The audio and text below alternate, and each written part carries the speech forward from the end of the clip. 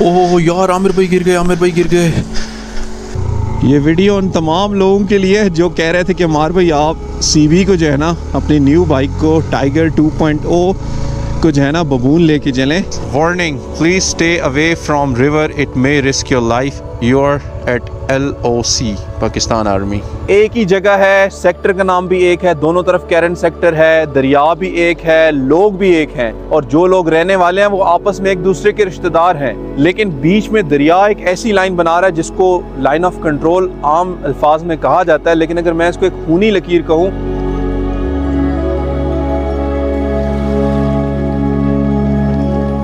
असलकुम कैसे हैं आप सब लोग? उम्मीद करता हूँ आप बिल्कुल खैरियत से होंगे। ये है कश्मीर सीरीज़ की सिक्स एपिसोड और आज के इस व्लॉग में हम India Pakistan line of control के साथ साथ ट्रेवल करेंगे। सो so, जनाब इस व्लॉग को आपने एंड तक लाजमी देखना है क्योंकि इसमें मैं आपको मल्टीपल चीज़ें दिखाऊँगा। सबसे पहले हम विज़िट करेंगे कैरन सेक्टर का जो कि India Pakistan line of control है।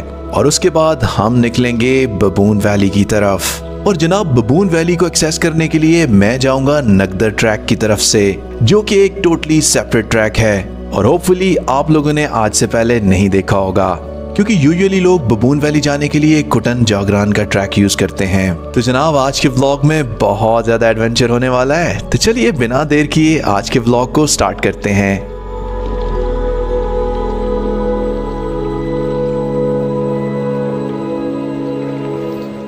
Aslam good morning from Aishmuqam पिछले व्लॉग में आपको दिखाया था, हमने हल्दी रॉक पे कैंपिंग की थी और अभी हम हल्दी रॉक से नीचे आ चुके हैं। दिन के तकरीबन 11 बज रहे हैं और अभी हमारा प्लान बन था। प्लान तो ये था कि हम कैरन बाईपास को आज विज़िट करेंगे और कैरन बाईपास से होते हुए हम दवारियाँ और वहाँ से शारदा की तरफ़ जाएँगे। लेकिन अभी पता ये चला है कि जो ऊपर टॉप है, वहाँ कहीं पे जो है वो रोड बंद है। लैंडस्लाइड की वजह से रोड टूट गई है। तो वहाँ पे फ़िलहाल आगे हम नहीं जा सकते। और दूसरा तरीका यह है कि हम कैरन बाईपास को अपर नीलम जाएँ। अपर नीलम से फिर हम नकदरा से होते हुए ऊपर की तरफ़ जाएँ। और हो सकता है अगर हमें बबून का ट्रैक भी मिल गया तो हम इंशाल्लाह बबून के ट्रैक पे भी पहुँच जाएँगे। और, इसके अलावा प्लान यही है कि रात आज हम शारजा में ही गुजारेंगे। डिपेंड करता है आगे की क्या सिचुएशन है। जैसे जैसे चलेंगे साथ साथ मैं आपको बताता रहूँगा। व्यूज़ भी इंजॉय करेंगे और इंशाल्लाह ट्राई करेंगे कि आज हम बबून का ट्रैक भी थोड़ा बहुत जहाँ तक पॉसिबल हुआ, हम करेंगे। तो चलिए जी, अल्लाह का नाम लेते हैं और आज की राइड को हम स्टार्ट करते हैं।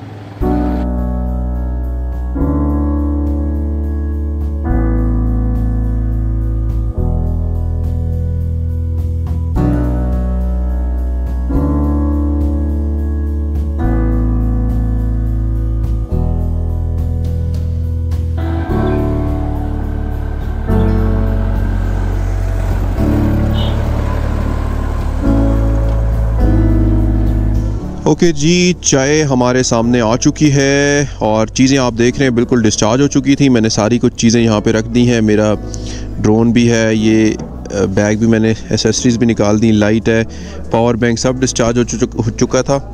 और चाय आ चुकी है सबसे पहले चाय इन्जॉय करते हैं और इन द मीन टाइम नाश्ते का ऑर्डर देते हैं। ठीक है आमिर भाई?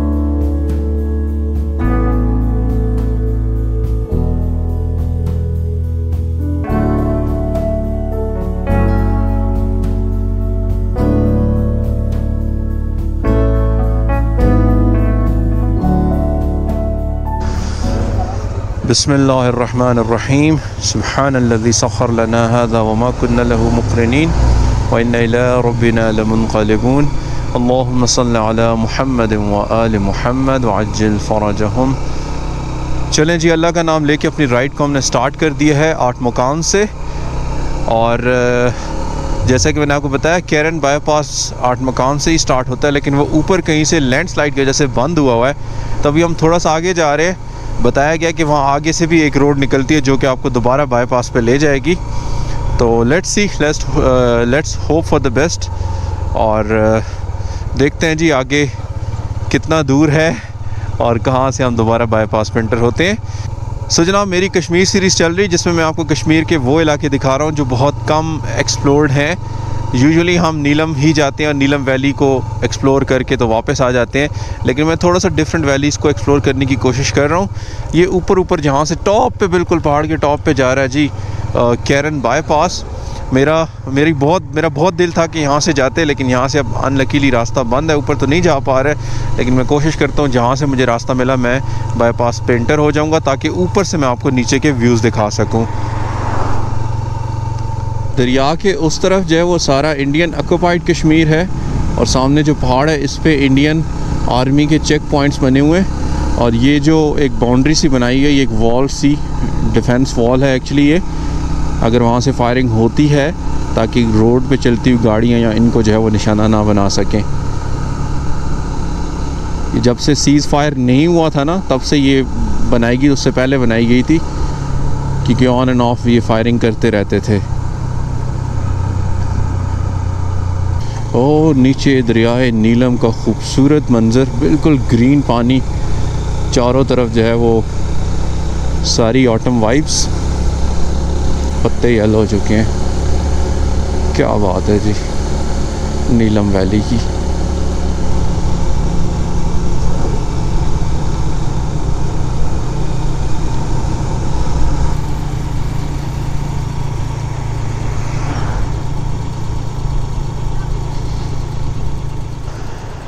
ये एक चेक पॉइंट बना हुआ है जी।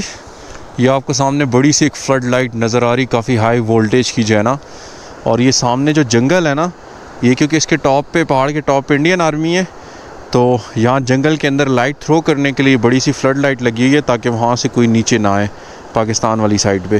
क्योंकि आजकल दरिया का पानी देखें, इतना कम है कि यहाँ से ईज़िली क्रॉस कर सकते हैं, जो माहिर होते हैं वो ईज़िली क्रॉस कर सकते हैं।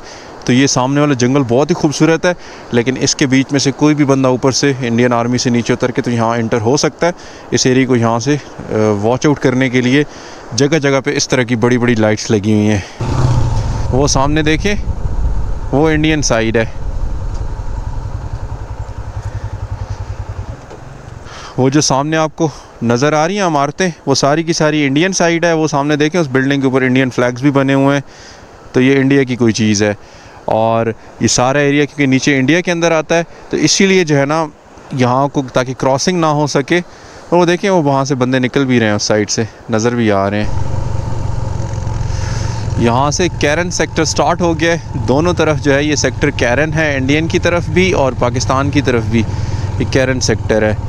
और ये चेक करें, यहाँ से कितना क्लोज़ है? पाकिस्तान का होटल भी है यहाँ पे और उस तरफ़ इंडिया है। वो सामने इंडिया नज़र आ रहा है। पता नहीं जी एच एस कुछ लिखा हुआ है। G H double S I don't know ये इंडिया का क्या है।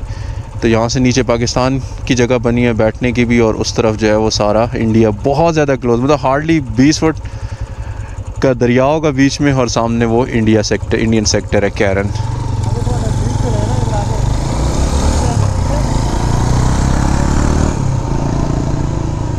warning please stay away from river it may risk your life any time is safety time you are at L O C Pakistan army यार, कितना close है हम line of control के। Keran basically वो जगह है जहाँ से बिल्कुल जो है हम लाइन ऑफ़ कंट्रोल को टच करने लग जाते हैं।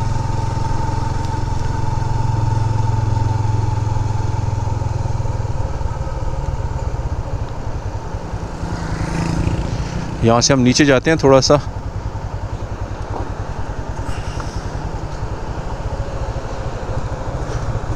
वो सारा का सारा दरिया के उस तरफ़ सब इंडिया है, सब इंडिया के घर है, इंडियन एक्यूपाइड कश्मीर है। ये दरिया यहाँ पे लाइन ऑफ़ कंट्रोल है। ये है जी कैरन सेक्टर इंडिया और पाकिस्तान दोनों तरफ़ ये कैरन सेक्टर और ये जो आपको सामने दरिया के उस पर नज़र आ रहा है, ये इंडियन एक्यूपाइड कश्मीर है। और चेक करें। ये इंडिया का ना झंडा बना हुआ जिसको वो तिरंगा बोलते हैं। ये देखें अभी हवा नहीं है ना तो वो लहरा नहीं रहा। लेकिन यहाँ पे इन्होंने कुछ मोनोमेंट टाइप कुछ चीज़ बनाई हुई है। और ये यहाँ पे ना इंडियन एक्ोपाइड कश्मीर का मैप बना हुआ है। ये यहाँ पे कोई इनका काफ़ी बड़ा सा कोई रिजॉर्ट टाइप लग रहा है ये। और सामने ये ग्रीन वाली जो है, ये मस्जिद है, इसमें से अजान की आवाज़ भी आ रही है। ये चेक करें। ये देखें, ये कोई कैंपिंग साइट वगैरह बनी हुई है कैरन की?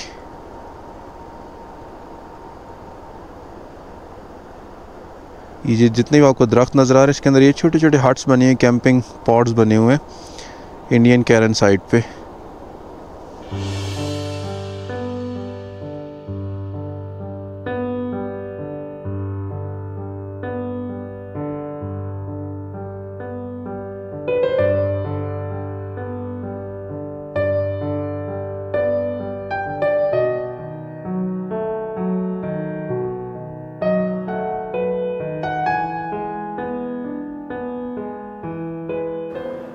इस वक्त मैं मौजूद हूँ दरिया नीलम के अंदर, जिसको परली साइड पे किशन गंगा रिवर कहा जाता है। दरिया एक है, लेकिन दो नाम है इसके। नीलम रिवर पाकिस्तान की साइड पे है, Kishan Ganga river Indian side पे है। और मेरे बिल्कुल आप सामने पीछे देख सकते हैं, लाइन ऑफ़ कंट्रोल है। हार्डली यहाँ से 20-30 फुट का फासला है दरिया का, उसके बाद लाइन ऑफ़ कंट्रोल इंडिया है। और अफसोस की बात यह है कि एक ही जगह है सेक्टर का नाम भी एक है दोनों तरफ़ कैरन सेक्टर है दरिया भी एक है लोग भी एक हैं। दोनों तरफ़ मुस्लिम पॉपुलेशन है और जो लोग रहने वाले हैं वो आपस में एक दूसरे के रिश्तेदार हैं। लेकिन बीच में दरिया एक ऐसी लाइन बना रहा है जिसको लाइन ऑफ़ कंट्रोल आम अल्फाज में कहा जाता है लेकिन अगर मैं इसको एक खूनी लकीर कहूँ तो ये गलत नहीं होगा क्योंकि आधे रिश्तेदार इधर है आधे उधर हैं। ना तो वो एक दूसरे की खुशी में शिर, शिरकत कर सकते हैं ना किसी की गमी में शरीक हो सकते हैं। तो बेसिकली ये किशन गंगा रिवर या दरिया नीलम एक खूनी लकीर है, जो कि दो फैमिलीज़ को डिवाइड किए हुए है काफ़ी अरसे से। और, पीछे इंडिया का झंडा नज़र आ रहा है, इस तरफ़ पाकिस्तान के परचम लगे हुए हैं। टाइम जोन का बहुत बड़ा डिफरेंस है। आधा घंटा वो साइड आगे है, यहाँ पे आधा घंटा टाइम बाद में स्टार्ट होता है। और, अब देखें ना कितना बड़ा डिफरेंस है। करेंसी को देख लें, वहाँ पे कुछ और चीज़ है, यहाँ पे कुछ और चीज़ है। वहाँ पे नोट्स के ऊपर गांधी जी की तस्वीर है, यहाँ पे जना साहब की तस्वीर है। तो मतलब एक ही जगह, लेकिन डिफरेंसेस कितने ज़्यादा क्रिएट किए गए हैं। और खैर, क्या कहा जा सकता है इसको? और हमारी दुआ यही है कि दोनों तरफ़ जहाँ भी रहें पीसफुल रहें, और जो क्लैशेस हैं, वो जितना जल्दी हो सकते हैं रिजॉल्व हों। और बहुत ही खूबसूरत मौसम है, बहुत ही मज़े का मौसम है। और इट्स अ लवली प्लेस यार। It's it's really a lovely place मतलब जितना line of control Keran sector में इतना क्लोज हो रही है, इतना पाकिस्तान में कहीं पे भी लाइन ऑफ़ कंट्रोल इतना ज़्यादा क्लोज नहीं है। मतलब दोनों तरफ़ बिल्कुल आबादियाँ एक दूसरे के साथ जुड़ी हुई हैं। कैरन के मेन बाज़ार से गुज़र रहा हूँ मैं, और यहाँ पर मौसम थोड़ा थोड़ा ठंडा है। कैरन में जैसे ही आप पहुँचते हैं, यहाँ पे आपकी एंट्री होती है। आपके पास वैलिड सीएनआईसी होना चाहिए बाइक के डॉक्यूमेंट्स गाड़ी के डॉक्यूमेंट्स आपके पास होने चाहिए। एटलीस्ट सी एन आई सी लाजमी होना चाहिए, जितने लोग गाड़ी में मौजूद हैं या बाइक पे मौजूद हैं, सबके सी एन आई सीज़ होने चाहिए। यहाँ पे प्रॉपर एंट्री होती है और उसके बाद फिर आपको आगे जाने दिया जाता है। एंट्री हमारी हो चुकी है, हम आगे की तरफ़ निकल रहे हैं और अपर नीलम, बहुत ही खूबसूरत एरिया है, जो मैं आपको बाद में आने वाले व्लॉग्स में दिखाऊँगा। आज मेरा प्लान है, मैं आपको बाईपास दिखाऊँ, खुद भी देखूँ।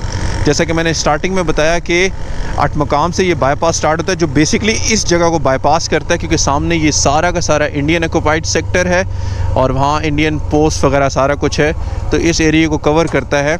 एक ऑल्टरनेट डिफेंस रूट जैसा कि मैंने पिछले स्टार्टिंग में आपको लेसफा बाईपास दिखाया था, वो भी एक डिफेंस रूट है, और ये कैरन जो है ये भी एक डिफेंस रूट है। सो so, आगे चलते हैं जी। नकदर एक मकाम आएगा वहाँ से दोबारा हम इस बाईपास पे इंटर होंगे और ये हमें ले जाएगा दवारियाँ तक।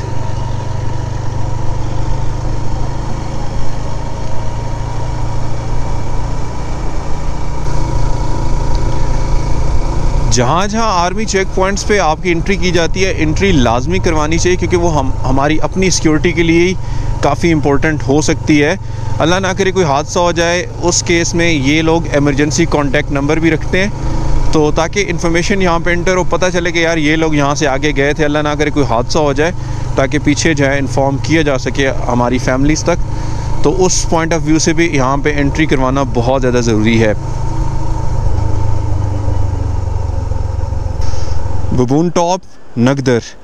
नगदर से हम ऊपर जाएँगे, ये नगदर का एरिया आ चुका है जी, मार्केट है नगदर की। यहाँ से हम ऊपर जाएँगे बबून की तरफ़ और, मेरा ग्लव किधर है? ये रहा ग्लव आमिर भाई, चलें।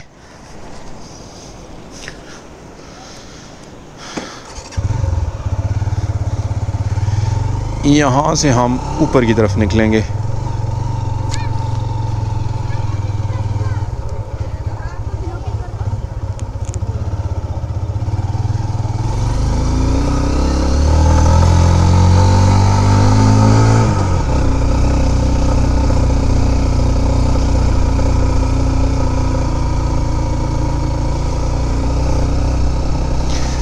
यहाँ से हमने नीलम, रोड को एग्ज़िट कर लिया है और बाईपास की तरफ़ जा रहे हैं अब दोबारा।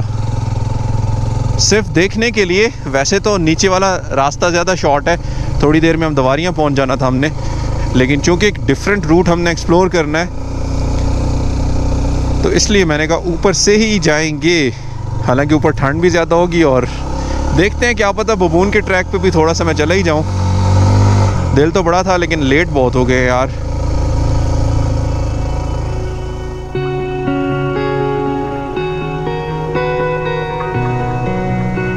सो जनाब यहाँ से मेरा प्लान हो गया कम्प्लीटली चेंज्ड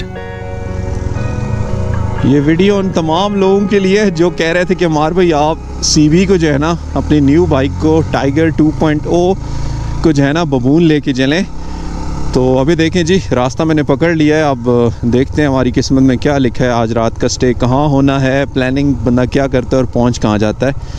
तो देखते हैं जी ट्राई मैं कर रहा हूँ। थोड़ा बहुत ट्रैक देख ही लूँगा, क्योंकि बबून में पहले नहीं आया हुआ। बाकी जगहों तो मैंने विज़िट की हुई हैं। ये बाईपास और ये चीज़ें मैं फ़र्स्ट टाइम कर रहा हूँ। तो मैं काफ़ी एक्साइटेड भी हूँ। लेट्स सी आगे क्या होता है। होगा वही जो अल्लाह का प्लान होगा। और हम उसी पर इंशाल्लाह राज़ी।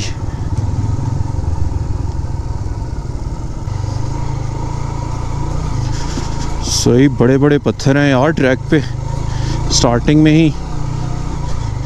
पीछे मैंने चेक पॉइंट पे फ़ौजी से पूछा था, वो तो कह रहे थे कि आगे रोड ठीक है, लेकिन ये मेरे ख्याल में स्टार्टिंग में थोड़ी ख़राब है आगे जाके जो बाईपास है वो ठीक है। ये तो अब आगे जाएँगे तो पता चलेगा।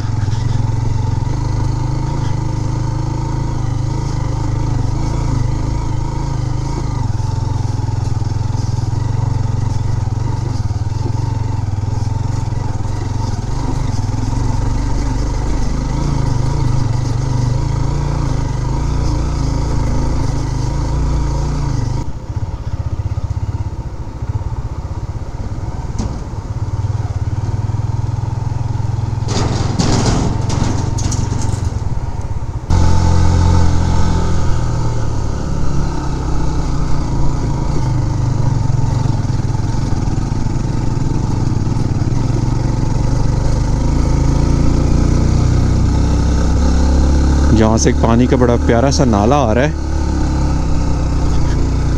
सर्दियों में ना पानी बहुत ज़्यादा साफ़ शफाफ होता है।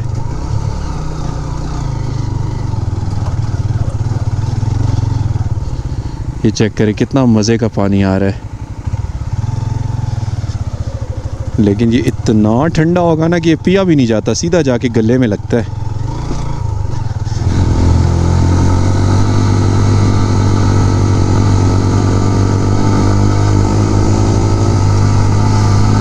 यहाँ से ऑनवर्ड सही वाली चढ़ाइयाँ शुरू हो गई हैं। 6500 फुट का एलिवेशन है। और अब बर्फ़ वाली चोटियाँ भी जो है ना वो नज़र आना शुरू हो गई हैं।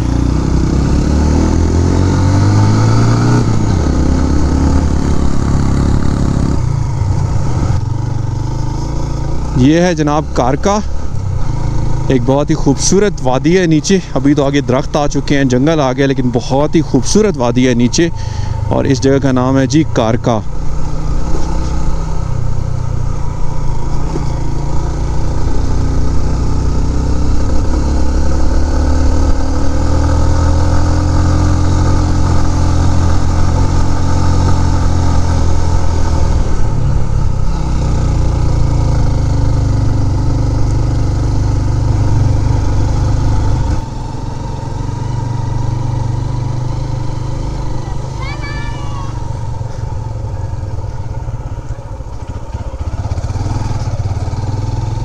कितने खूबसूरत इलाके हैं यार ये।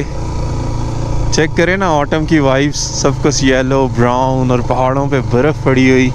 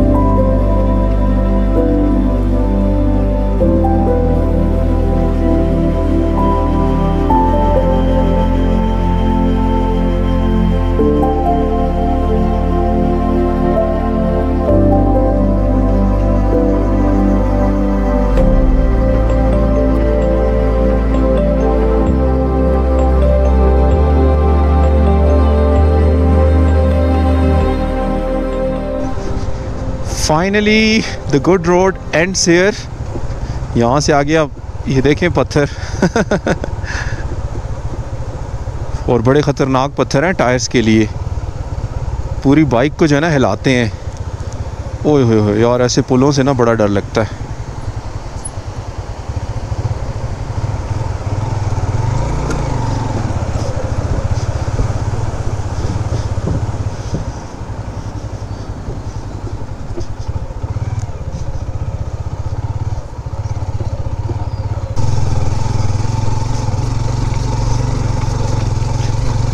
यहाँ पे बहुत ही गंदा ट्रैक स्टार्ट हो गया है।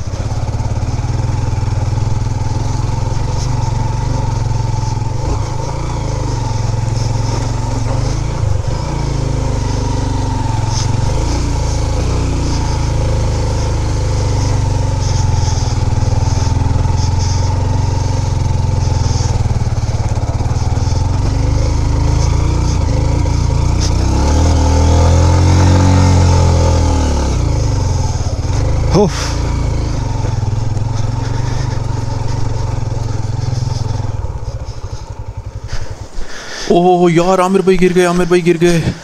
ओहो बैड सीन हो गया यार। पहली खतरनाक चढ़ाई पे आमिर भाई ने बाइक उल्टा दी।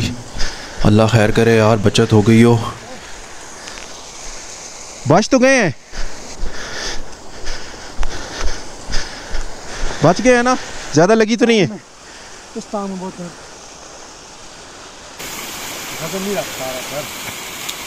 सर माशाल्लाह वज़न भी तो आपका।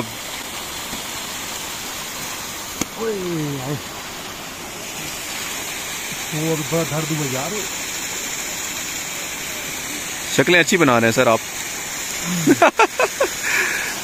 ये है जी आमिर भाई की जीएस पीछे तो इसको मोड़ लिया, उठा भी लिया। आप देखते हैं आगे का क्या सीन है, क्योंकि टाइगर को वो मैंने ऊपर खड़ा किया हुआ है।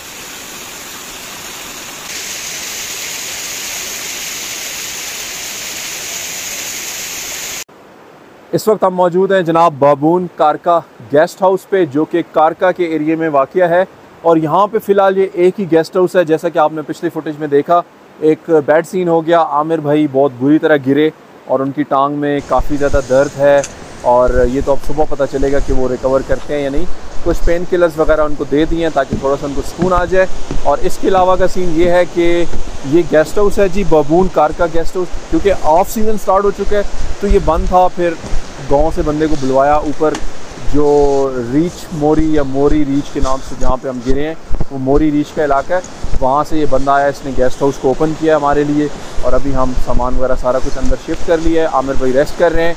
भूख भी काफ़ी सख्त लग रही है और यहाँ पे जो गेस्ट हाउस के बाबा जी हैं, उनको हमने खाने का बोल दिया, वो खाना शाना बना रहे हैं और खाना शाना खाते हैं। फिर कोशिश करेंगे आज जल्दी सो जाए, क्योंकि कल सुबह अर्ली उठ के मैं इंशाल्लाह ट्राई करूँगा बबून ट्रैक को दोबारा से करने की।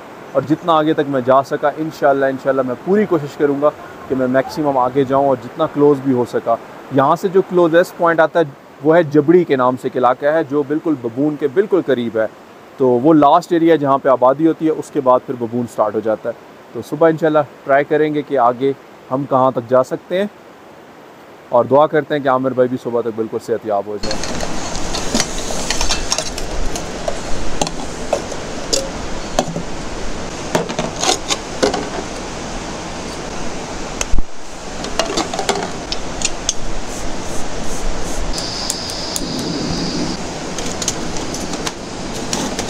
आमिर भाई सो चुके हैं मेडिसिन लेके। मैंने भी कहा, चलें थोड़ा सा आराम कर लें ताकि उनका दर्द छत जो है वो ख़त्म हो जाए। और इन द मीन टाइम मैं चाय बना रहा हूँ। उनको भी गर्मा गर्म चाय पिलाते हैं, ज़रा सेट शूट हो जाएँगे। ठंड बहुत ज़्यादा हो गई है यहाँ पे जैसे जैसे शाम हो रही है ना।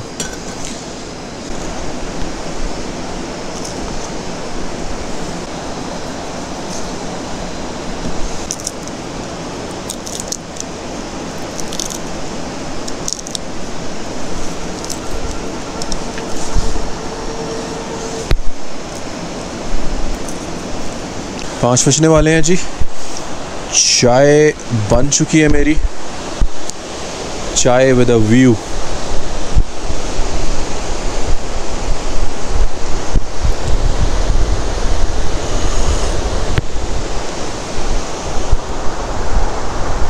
सर, चीनी कम तो नहीं है? सही है, चलेगी? चले।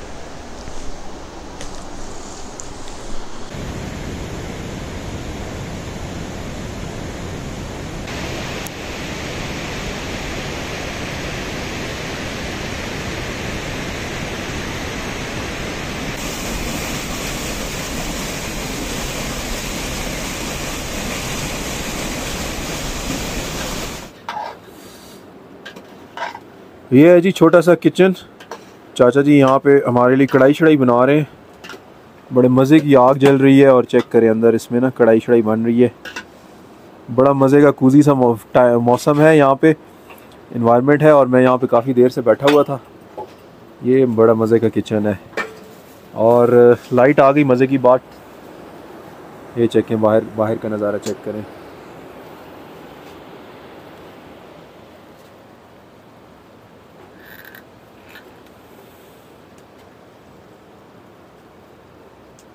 यहाँ पे मज़े की बात कि यहाँ पे सरकारी बिजली नहीं है डिफरेंट जगह पे पानी के नाले आ रहे हैं तो वहाँ पे इन्होंने टरबाइंस लगाई हुई हैं।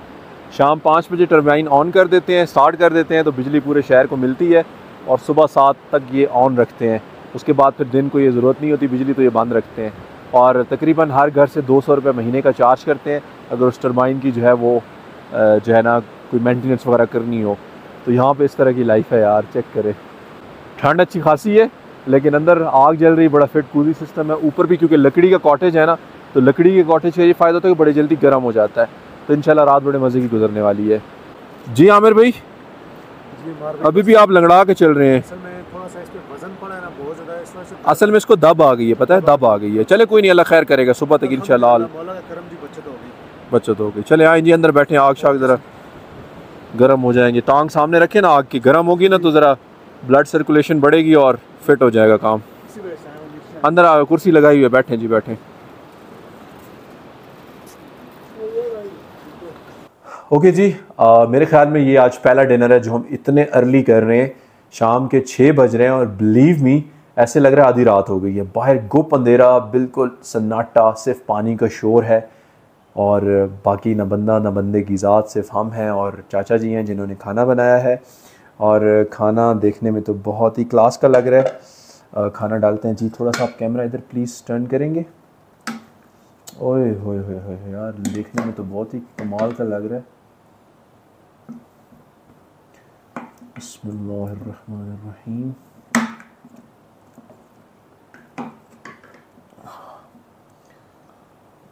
उसको ऊपर से बंद कर देते हैं ताकि ये गर्म रहे।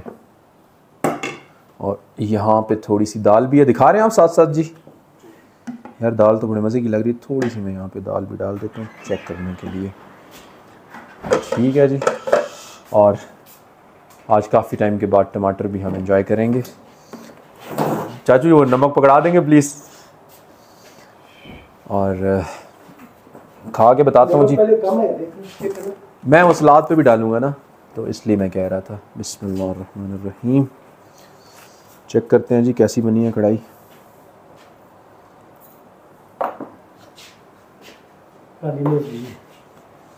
हम्म बेहतरीन जी।